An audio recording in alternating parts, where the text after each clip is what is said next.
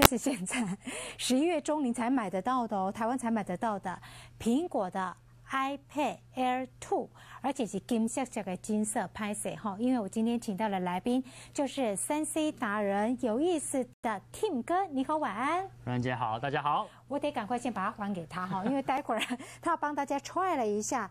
现在画面上看到了两台，基本上是旧的跟新的，我们待会儿会超级比一比。可是呢？苹果这一次最强的就是有一个 Apple Pay，谁要跟他合作？听说是阿里巴巴，股价会说话。先来看一下苹果，苹果股价哦，昨天收盘收在一股一零六点七四，再创下历史新高。然后阿里巴巴要合作嘛？你看一百点六七美元，创下过挂牌以来的新高，所以。两个谈要结亲家要合作，汉伟谈的就是 Apple Pay 吗？请问？对啊，也就谈说 Apple Pay，因为最近在美国其实非常的一个成功啦。那大家就联想到说，哎，阿里巴巴跟所谓的苹果如果谈合作的话，是不是也代表说 Apple Pay 未来在大陆这个市场有机会开花结果？先讲一下哦，Apple Pay 就叫做行动支付，手上 iPhone 手机啦，还有平板啦，B 一下 B 一下，B B 时代来临，那就是付费了，行动支付。对啊，所以这个当然就代表说，如果未来这个所谓的苹果跟阿里巴巴真的谈成，未来要做一个结盟的一个动作的话，不管是在美国市场，不管是在所谓的大陆市场，两边的公司都有它的一个利基的存在。因为我们可以看到。在阿里巴巴部分，它光旗下所谓的一个支付的一个系统，支付宝部分目前有三亿的活跃的用户。什么叫三亿的活跃用户？是你真的把钱存在里面，而且真的有在用的人。那苹果部分 iOS 的系统目前有八亿的一个用户，所以两个加起来，你看起来有十一亿的十一亿的一个用户，也代表说未来这个全球七十亿人口，他们就占了一呃七分之一的一个比例，但就会造成说市场非常大的一个联想，说哎，未来这两强结合底下的话，会不会股价会出现一个？频频创新高的一个状况，所以我们可以看到这个所谓的一个行动支付的商机，最近真的非常的一个流行啊。我们看到美国这么成功之后，台湾也有所谓的一个神人。我们刚刚有一个达人嘛，台湾所谓的 Mobile 零零上面有一个神人，就是说，哎，他认为说，他觉得 Apple Pay 是不是可以在台湾试看看，就真的被他试成空了。他用所谓的 iPhone 六部分，然后再加上说他美国发行的信用卡，所以他是我们台湾第一个人使用 Apple Pay 的。对，而且它是在博朗咖啡消费，台湾的博朗咖啡哦，不是说什么国外的星巴克的一些咖啡，在台湾本地的博朗咖啡用 iPhone 去做一个 Apple Pay 的一个消费，真的成功了。他秀他的一个所谓的一个消费清单给大家看。他为什么可以消费成功？他是怎么支付的？教一下好不好？因为他是用所谓的 iPhone，而且他的系统是 iOS 八点一的一个系统。那用所谓的指纹辨识，再用再用所谓的 Apple Pay 的一个系统，再加上说他用美国发行的一个信用卡，要注意一定要是美国发行的信用卡，而且它的 iPhone 的系统比地区的部分要设定是美国，才有办法使用 Apple Pay 的一个系统。所以要用这样的一个方法，然后在在台湾如果有一个所谓的 Visa Pay Wave 还是 Master Pay Pass 的一个特约商店部分，你就可以使用 Apple Pay 去做一个消费的动作。所以有这样的一个所谓的一个先行者之后的话，台湾有很多的一个网友都去试用，发现到。所谓的屈臣氏也可以用，大润发、星光三月、微秀影城都可以用所谓的 Apple Pay 去做一个付款。但是大家必须要注意到，就是说美国发行的信用卡，以目前已知的大概就是美国运通啊、美国银行等的。花旗啦，花旗可能你台湾发行的不能用哦，你必须要在美国当地申请的花旗信用卡才可以使用。哎，美国银行可以吧？美国银行可以，对，美国运通是大家可知的，所以说台湾办比较容易的啦。那我问你，那个 Tim 哥带来的这个 iPad Air Two。也有这个功能，对不对？也有，因为它主要是必须要有指纹辨识的功能，才可以使用 Apple Pay 的一个状况。我先让 Tim 哥插播一下，那个 Apple Pay 你那一台也有，对不对？有，其实呢，我就已经先把安装在这里了。没错，那个一定要先把系统设定为说你的区域是在美国。对。所以呢，你可以看到我这边就有个选项是 Passbook and Apple Pay。对。然后这边就是说你有没有卡片，加入你的卡片，还有加入你一些交易的预设值，其实就可以。那我补充一下，就是说。美国运通呢，一定要是美国的发卡才可以，因为我自己本身是台湾的美国运通，那我用一样的方法进去，其实它是拒绝。哦，因为你是台湾发行的美国运通，要美国发行的美国运通才行。才行，所以变成是像我同事他是美国人，他是真的是拿美国的运通卡，那他呢刚好最近补发新卡，我就说，哎，你补发来以后，我们来测试看看。那他说这样子应该是可行，所以你今天只要呢，不管你是 iPad Air 2或者是 iPhone 六。设定一开始的区域呢，把它定为美国，然后第二个呢，你有美国信用卡，对，就可以交易了。哎，汉伟啊，那这样还蛮适合那个全球到处跑，像机师啦、空姐啦，到处会飞的，国外有信用卡的，最方便啦。对啊，如果真的所谓的 Apple Pay 真的推行起来之后的话，大家会发现到，哎，你为什么苹果尺寸要做这么大？因为你未来你的所谓的口袋里面就不用放钱包了，对，你就用所谓的一个 Apple Pay 去做一个支付的一个动作就好。所以你会发现到这个苹果的一个股价，因为所谓的一个软体结合硬体的一个关系，所以股价是平创新高。而且我们刚刚提到。其实我最近发现到一个特别的现象，就是说苹果公布出来的一个财报，它毛利率是往上提升的，但是很多苹果供应链毛利率都往下降。那当然我们可以看到苹果股价这么强，另外部分阿里巴巴也非常的强。阿里巴巴什么？全球电子商务的一个龙头，所以我们可以看到，就是说这个所谓的一个行动支付结合硬体，其实未来商机真的非常的一个大。那这时候大家就想到说，哎，美国有 Apple Pay。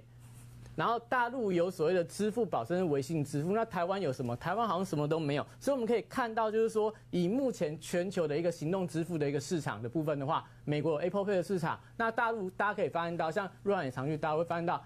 大陆你现在要叫计程车很难，为什么？因为它用打的的软体嘛。对。所以你要必须要在打的上面要加价哦，你要加五块钱、加十块钱才有计程车愿意来载你。我跟你讲哈，这个我曾经在大陆的厦门叫两个钟头叫不到计程车，辉他不在的哦，因为他说我要交班了，我要交班了，他们都车行的。对啊，因为大陆其实软体发展的非常的迅速，不管是在所谓的支付啊，还是说叫车，甚至说在整个一个餐饮的部分都非常的一个厉害。那你可以看到大陆所谓的一个支付宝跟微信支付的部分，现在。已经取代掉，不管是在网络银行啊，还是说很多的一个小额付款的部分，代表说大陆在这个行动支付其实非常的成熟，甚至比美国都来的成熟。所以大家会想说，如果说 Apple Pay 打入到所谓的大陆的市场的话，对于整个苹果，不管在软体的一个收入，甚至说在整个一个所谓的一个授权的一个部分的话，它都会有一个很大幅度的获利。那对美对所谓的阿里巴巴来说的话，他认为说，哎，如果跟苹果结合之后，我未来打入到大陆的购物市场也是更为容易的。那我们可以发现到，哎，美国跟大陆都发展的还不错，甚至连肯雅，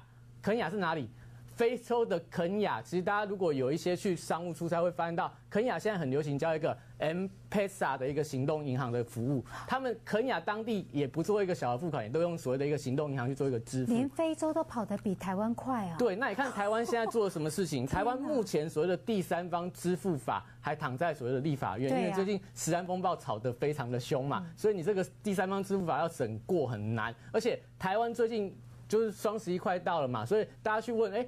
我们官方有什么应应的一个措施，才能说我们要针对网购加强查税？所以发现到台湾这个所谓的，我们讲它的政策不止慢半拍啊，我们其实都落后其他国家非常的多。台湾的行动支付市场就这么眼睁睁的被中国抢去。美国领先，被非洲的肯亚。刚才那个肯亚啊，各位知道吗？有三千万人用手机，有百分之七十七用行动支付，汗颜呐！对呀，真的。我们有什么？我们有政策，我们的政策特别慢，就这样哈，分享一下。可是呢，Tim 哥带来了，哎，iPad Air Two。是右边这一台嘛？哈，画面上你所看到的。哎，先介绍一下它的跟旧的有什么不一样？好，简单讲哦，在这一次 Air Two 部分呢，其实用外观来看呢，它有三个地方不一样。你先介绍左边、右边各是哪一台？这一台呢是 Air，然后这一台是 Air Two。哦，对，好。那哪三个不一样？哈，第一个不一样就是它的厚薄度，它比。这一盖 Air 呢，它薄了十八趴。对。那十八趴到底有多薄呢？我们先拿起来，好，我们直接把它放在桌上，我们直接这样比来看。啊，这样好清楚哦。对，就薄了这一点点。右边的你所看的那个是旧一代的。这是 Air。对，在 Air。这是 Air Two。好，左边的那个是 Air Two。对。有没有？你看它这边呢？你看就变薄很多。有没有比你更旧的在这里？更旧的。更旧的来。更旧在这里。宇哥的是更旧的。更旧的我们放在这里看看哈。更旧的你看。更旧的在这儿，就比更旧的又更薄哦，这是最旧的这个，你看厚度这么厚。这像 iPad Two 吧？哎，这个 iPad iPad 三，iPad 三，OK。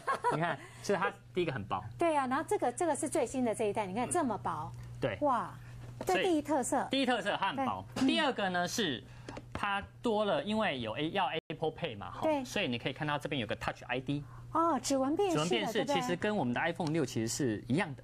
对，都是在这儿吗？都在这里有一个 Touch ID 在。对对对，你这也这台是 i 六嘛？这台 i 六，对。所以你看这边，这边也有一个指纹辨识，指纹辨识？其实是一样的。第二大特色。第二大特色，对。那第三个部分呢？呃，它的拍照的相机的画素跟 iPhone 六呢是一模一样。哦。因为 iPad Air 呢是拍照的时候是五百万画素，对。但是 iPad Air Two 呢拍照是八百万画素，所以更清楚。所以你可以看，这是我刚刚拍瑞涵姐的照片。对。我们仔细看，其实你可以看 Air Two 它的色泽呈现其实是比较符合跟现在比较差不多的。你觉得 Air 呢拍起来比较亮？我这样看，其实这个新的 Air Two 它的亮度、饱和度比较够。没错。对对对。对，那所以也因为这样呢，它当然也有相关的，比如说像缩时摄影啊、慢动作拍照，其实它里面都有。什么叫缩时摄影跟慢动作拍照？缩时摄影就是说呢，一般我们可能在拍一个影片，比如说一个花开的话呢，它用每十秒缩成一秒。哦。所以你今天拍了一分钟，事实上里面只会呈现十秒的。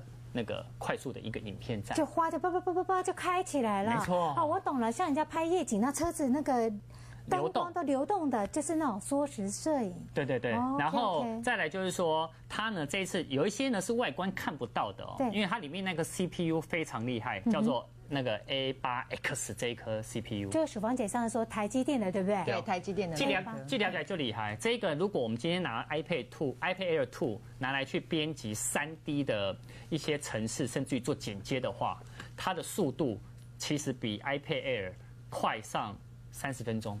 哦，这么快啊！对，像我们曾经，我我我我有请我朋友他们去编辑一段影片，对，用 Air 跟 Air Two 来比较，就没想到 Air Two 的处理的效能是比它快了。半个钟头，嗯哼，对，表示说它里面的 CPU 其实是够够大。那电池的续航力？电池续航力也是比 Air Air 多，然后它的记忆体也比它多了一 G，所以它是两 G 的记忆体，它是一 G 的记忆体。OK OK。对，所以其实这一台它在内装里面呢，其实老实说，很多人说它是平板的机皇，哈哈。对，但你说。外观这样看起来虽然薄这一点，但薄这一点点，其实因为有时候大家拿平板，最重要是一定做两件事：看影片，嗯，跟玩游戏。那看影片、玩游戏呀，少这个三十几克，这三十几克怎么算呢？养乐多一小罐哇，三分之一的就是三十三十二克。哦，对，就是大概养乐多剩三分之一的那个容量。然后呢，你拿在手上，其实会对你手的这个支撑啊，对，还是会比较轻松一点。因为哦，平板我有拿旧一代的，但是拿久了，你这个手环会酸痛，会酸痛，因为太重了。我来帮大家拿看看哈。这一台是新的，新的 Air Two，Air Two。我就惊惊 lucky，不会啦。然后这台是 A。哇，这样子马上拿起来就有感觉了。对，这台大概重大概重差不多三分之一左右哦。差不多，差不多。对，那这个就很轻，这样一手拿这样就很轻。没错，但是大家还是会装保护套，我觉得。哦，对啊，怕它不小心掉了，因为它太轻了。对。而且它是不是边边也变得比较圆滑，对不对？对，它边边有比它圆滑一些，把抛光。然后重点是。它这一次 Air Two 有它有中大家喜欢土豪金吗？你那一台就是土豪金。哦，我这台我其实不喜欢土豪金，但我也不晓得我。哈，这是我这个我请我朋友从秋叶原买的。我跟他说不要土豪金哦，结果他买回来以后还是土豪金。因为大家都在抢，所以你是整套对不对？i 六跟那个 iPad Air Two 都是金色，都金色，只差那个。Make 没有金色而已哦，对不过它的金其实不会那么怂。它其实很好笑，我这次哦有仔细看一下哈，它这个金啊，其实金的比 i 六的金漂亮。你要不要把它帮我们把它放上去？好，没问题。你说比 i 六漂亮啊？这 i 六的这个金比较偏黄一点的金，哎，真的。但这个金呢，比较有点像是那种比较那种高贵一点的金色。哦，对对对对对。对，所以后来我拿到，我发觉说，哦，原来它这个金，嘿，其实是漂亮的。也因为好像它的 iPad Air Two 的代工厂好像也不是红海的样子，也有合作了哦，对，所以它所以它颜色的那种漂亮，我觉得它反而比 i 六漂亮。好，它的那个好像比较不会那么样的。死金色啦，对不对？对对对好，有点这种。但是那个那个机壳部分，他们是组装，但机壳真正在上色的时候呢，是镁铝合金那一块难度比较高。镁铝合金上色的的成的的比塑胶要难度高很多。机壳的部分跟他们比较没有关系啦，还是由机壳厂去做提供。所以就是说，这个 iPad 的部分里面，刚刚来讲颜色的不一样，应该是以可层，我们来去做一些的观察。最近法人有买一些可层了，其实很特别哈。Tim 哥今天带过来 iPad Air Two。你知道它讶异的让大家讶异的地方，大家以为它会卖不好，结果这次还真的卖得很好，对不对？呃，卖了预购量啦，预购量上还不错。对，但是呢，很好笑，它反而里面接那个四 G 的卡的 SIM 卡的版本没有卖很好。哦，这样子啊。反而 WiFi 版卖很好，因为现在很多人呢有四 G 手机了嘛，像索方姐应该是四 G 门号。对，那四 G 手机呢？其实它都会热点分享出来，所以事实上其实，呃，它只要买 WiFi 版本呢，它就可以分享到我们的手机的四 G。两两个价差会不会差很多？呃，两个价差差了快三千块。所以我们就再观察一下喽。今天哦，谢谢 Tim 哥带来新的 iPad 跟大家做一下分享。传出后，我们台湾可能要到十一月以后才会买得到了。那总销售量呢？静观其变，苹果股价是创新高的。最近苹果派表现也不错哦。明天看盘重点，呃，看盘重点在于第一个哈，明天呢是摩台结算。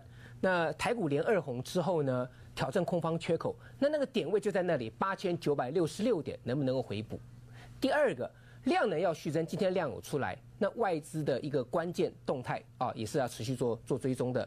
再来就是指标股的部分，当然第一个高价股来看，大力光。以及呢，股后汉维科的股价，汉维科今天还创新高。那台股的小确幸低价，就是跟我们刚刚署方有提到，这个有法说会加持的友达，明天要能续强，群创呢要加油。再来就是平安股红海，在今天一片大涨过程当中，红海竟然逆势下跌，明天的表现洞见观瞻。所以多空指标麻烦大家盯着看哦，还有国际盘最近呢力道都有点期待性了。什么样的利多呢？锁定待会儿的夜线新闻。今晚上谢谢收看，祝你晚安。